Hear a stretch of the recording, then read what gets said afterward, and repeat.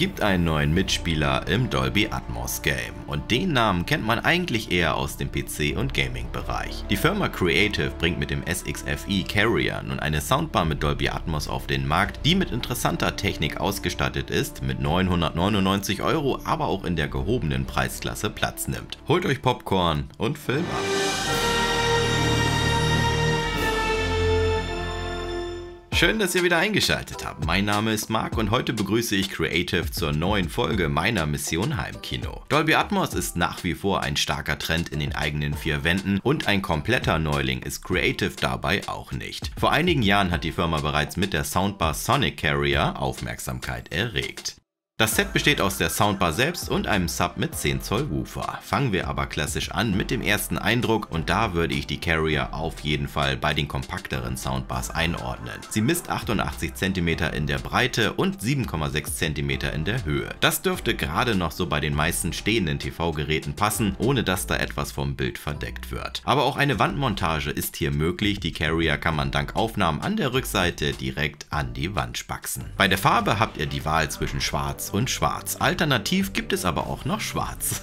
Das Design finde ich sehr schlicht, aber schon irgendwie etwas retro angehaucht, mit einem Mix aus matten Kunststoff, viel Lautsprechergitter und einer Front in Hochglanzschwarz. Auch beim Display bekomme ich irgendwie Retro-Feeling, sowohl bei der Darstellung als auch bei den angezeigten Infos. Ob das jetzt aber bei einer knapp 1000 Euro teuren Soundbar so gut ist, na, gerade beim Display hätte ich mir mehr erhofft. Alle nötigen Werte bekommt man hier auf jeden Fall durchlaufend im Display angezeigt. Für mehr Einstellungen nutzt man man dann auch die App, auf die ich aber auch gleich noch näher eingehe. Bei den Anschlüssen geht Creative jetzt aber von der Bremse und gibt Vollgas. Dreimal HDMI, davon einmal mit eARC und zweimal 2.1 mit HDR10 Plus, 8K Kompatibilität und Dolby Vision. Dazu steht noch ein optischer Eingang parat, als analoge Verbindung ein AUX-Eingang und ein Subwoofer Out. Interessant wird es dann eine Etage höher, denn Creative spendiert auch einen USB-C-Port mit Hi-Res-Unterstützung und 7.1 Kanal. Damit drängt sich das Teil natürlich auch zum Zocken ziemlich geil auf. Bluetooth 5.0 rundet das Paket dann ab, eine WLAN-Verbindung gibt es leider nicht. Durch die CEC-Funktion lässt sich die Lautstärke nun entweder mit der eigenen TV-Fernbedienung steuern oder ihr nehmt die Creative-Fernbedienung aus dem Lieferumfang. Die ist recht klein und kompakt gehalten, bietet aber dennoch alle benötigten Funktionen für die verschiedenen Modis bzw. den Klang. Auch beim Klang gibt Creative Gas und stopft hier nach eigenen Angaben ihre geballte Erfahrung in diese Soundbar. Insgesamt bietet das System eine Leistung von 450 Watt RMS. 250 Watt verteilen sich dabei in der Soundbar auf sieben Treiber, wobei jeder Treiber über einen eigenen DSP-gesteuerten Verstärker verfügt. Die Klangabgabe erfolgt dabei nach vorne, zu den Seiten und eben nach oben, denn wir sind ja im Dolby Atmos Game. Die Entwicklung der Carrier soll dabei in direkter Partnerschaft mit Dolby entstanden sein und bietet als erste Soundbar auf dem Markt das neue Akustikkonzept von Dolby, was den Klang aus kompakten Maßen auf ein neues Level heben soll.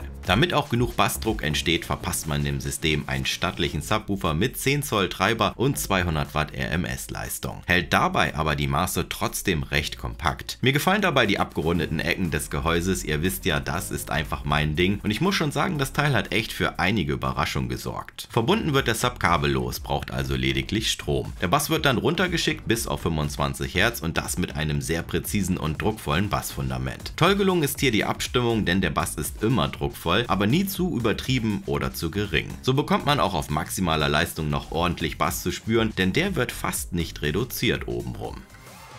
Eine Besonderheit bei der Carrier ist die Super XFI-Technologie für Kopfhörer, die eine Klangbühne eines Surround-Lautsprechersystems nachbilden. Wer also zu später Stunde noch vollen Druck auf den Ohren haben will, aber seine Nachbarn einfach nicht los wird, der kann Kopfhörer anschließen und dank SXFI vollen Klang weiter genießen. Dazu unterstützt die Soundbar jeden Kopfhörer mittels 3,5 mm Klinke am vorderen Ausgang. Creative empfiehlt aber für das beste Ergebnis zertifizierte Kopfhörer zu nehmen und wer da keinen Bock auf Kabel hat, kann zum Beispiel zum SXFE Theater greifen, einfach den USB-Stick an der Rückseite einstecken und schon steht dem kabellosen Klangerlebnis nichts mehr im Weg und das ist wirklich schon ziemlich geil. Bevor wir jetzt aber in die Klangbesprechung gehen, hört eben selbst, was die Soundbar so drauf hat. Ich spiele euch einige Filme an, die Aufzeichnung ist dabei binaural 3D, ihr müsst also Kopfhörer nutzen, sonst könnt ihr diesen speziellen Effekt nicht hören.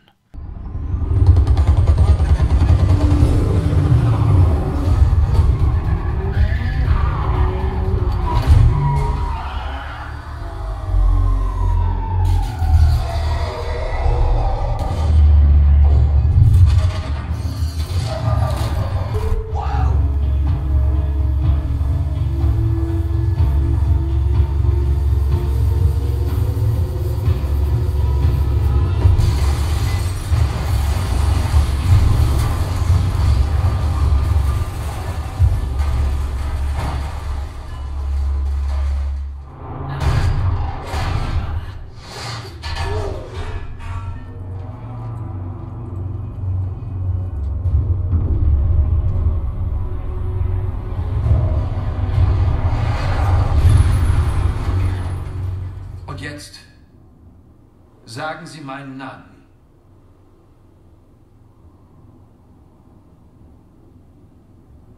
Sie sind Heisenberg. Endlich haben Sie es erfasst. Okay, man merkt, Creative hat hier bewusst bei anderen Sachen auf die Bremse getreten, um sich maximal auf den Klang zu fokussieren. Die räumliche Darstellung ist schon echt krass und kann durch verschiedene Modi auch noch beeinflusst werden. Der Super Wide Modus zum Beispiel holt dabei aus dieser kleinen Größe echt ziemlich viel Räumlichkeit raus, aber irgendwann klingt es dann auch alles etwas zu krass und künstlich finde ich, das ist aber natürlich auch Geschmackssache. Was mir sehr gut gefallen hat, ist das Zusammenspiel von Subwoofer und Soundbar und da speziell die extrem sauberen und präzisen Bässe. Das sticht schon deutlich hervor und macht beim Hören einfach so ein wohliges Gefühl, anders kann ich es echt nicht beschreiben. Der Bass ist dabei zu keiner Zeit überfordert oder wird unsauber, auch der Druck nimmt bis zur maximalen Lautstärke wirklich nur minimal ab. Für eine bestmögliche Sprachverständlichkeit soll ein spezieller Algorithmus sorgen, der Dialoge automatisch erkennt und verbessert. Man muss hier also nicht selbst an Einstellungen rumfummeln, dafür kann man dann aber auch nichts nachjustieren, sondern muss sich mit dem Ergebnis zufrieden geben. Die Verständlichkeit finde ich dabei durchweg okay. Allerdings variiert das je nach Modus und Stimmen klingen dann auch schnell mal etwas künstlich für meinen Geschmack. Die besten Ergebnisse liefert da der Musikmodus. Bevor wir ins Fazit springen, noch eben ein paar Worte zur App. Die funktioniert per Bluetooth und ermöglicht euch dann zusätzliche Einstellungen bzw. eine Kalibrierung. Ihr könnt der Soundbar dann eure Raummaße verraten und den Klang anpassen lassen. Alternativ könnt ihr den Bass und den Höhenkanal aber auch selbst verstellen. Ansonsten lässt sich hier auch noch die Firmware aktualisieren, das Display dimmen und so weiter. Aber alles recht simpel aufgebaut. Fazit. Creative hat hier scheinbar versucht, alles Potenzial in den Klang zu stecken, hat dabei aber für mich ein paar wichtige Aspekte im Gesamtpaket etwas vernachlässigt. Die Steuerung ist nicht wirklich intuitiv und viel kann man am Klang auch nicht verändern. Das Display ist zwar irgendwie retro, hat aber in der Preisklasse meiner Meinung nach nichts verloren. Die Bluetooth-Verbindung führt bei Filmen zu leichten Tonverzögerungen und ist damit nicht mehr ganz synchron zum Bild, über HDMI passt es aber alles. Creative ruft 999 Euro als UVP auf und befindet sich damit schon im oberen Preisbereich. Die Soundbar verfügt mit der SXFI Kopfhöreranbindung über ein Alleinstellungsmerkmal und das macht gerade mit dem Creative Theater echt richtig Spaß damit Filme zu schauen. Wer mit der Kritik klarkommt, der bekommt hier viel Klang aus relativ kompakten Maßen geboten. Wenn ihr euch das Teil selbst mal näher anschauen wollt, findet ihr die Links in der Videobeschreibung. Falls noch Fragen offen sind, ab damit in die Kommis. In diesem Sinne, ich empfehle mich. Adios!